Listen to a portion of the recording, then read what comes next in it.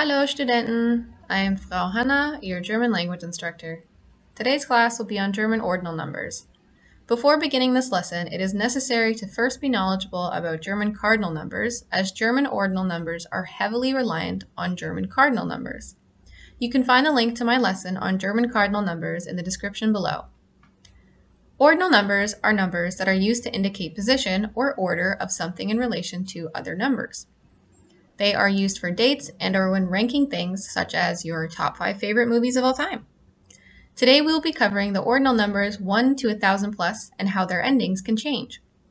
We will then practice what we've learned through exercises that require us to determine the order of marathon runners and animals, as well as identify dates listed on the calendar.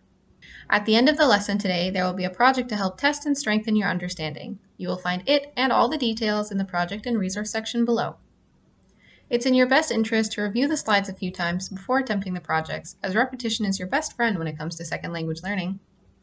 As always, if there are any questions, please post them in the discussion thread marked questions. Questions show we are engaging in the content and help us to strengthen our understanding, so don't be afraid to ask. As well, I always welcome constructive feedback. Please leave feedback in the discussion thread marked feedback. Without further ado, let's get started with today's lesson.